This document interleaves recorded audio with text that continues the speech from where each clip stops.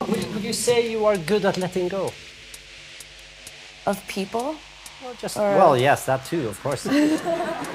no, but but just are you? Are you do you have that things side as well, or are you just in control all the time?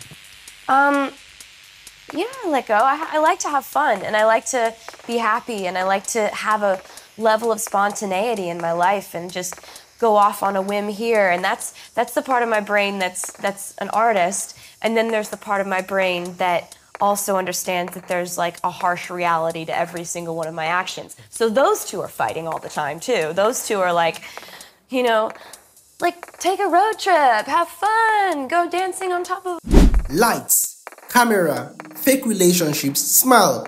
At least, that is what one corner of the internet is suggesting. The relationship that launched a million of memes between Travis Kelce and Taylor Swift suddenly seemed to be under threat after a document alleging to be from one of Kelce's agents circulated on social media claiming the couple is headed for a breakup. But it now appears or seems to be an elaborate prank. Taylor Swift and Travis Kelce went public with their relationship in 2023 last year.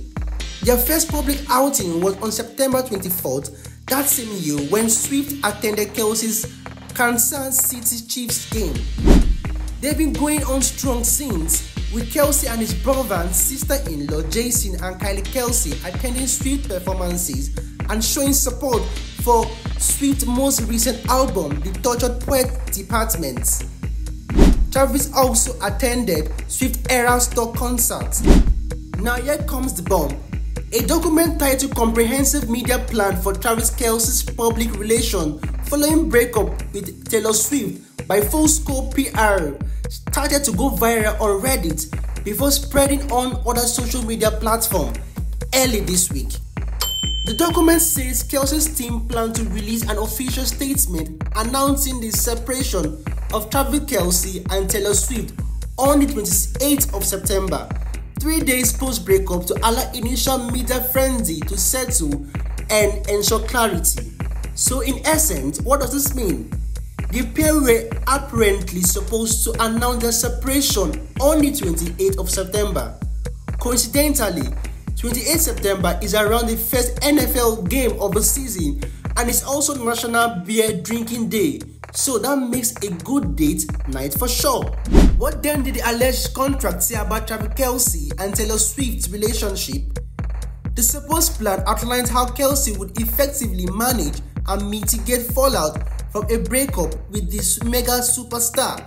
It says that a breakup would occur in 28 September and details how Kelce's team should proceed with messaging and press in the aftermath.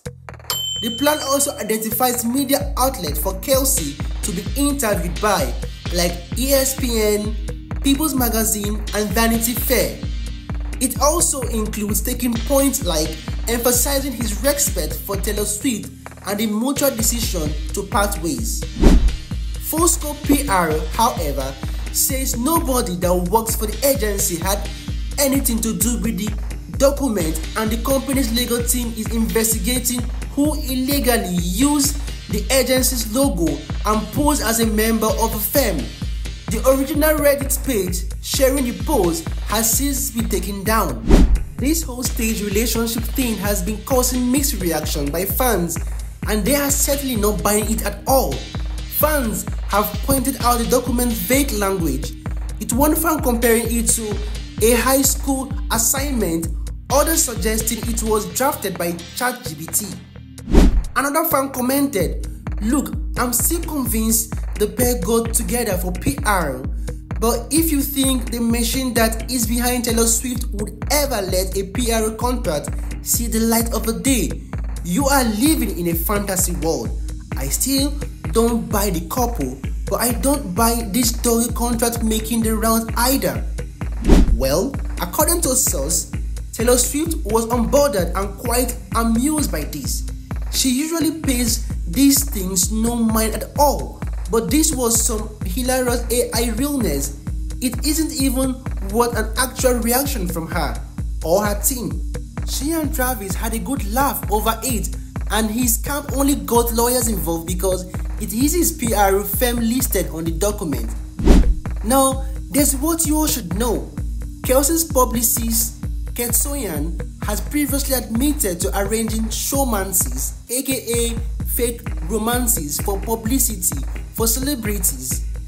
Kate Soyan said this in 2019 interview that the practice is common to help hype a celebrity. So fans, is the whole relationship thing staged? It's hard to say cause for nearly a year now, fans and the internet in general have gone back and forth debating on the legitimacy of Swift and Kelce's relationship. The thing is, we can only tell come 28 September. Stay tuned.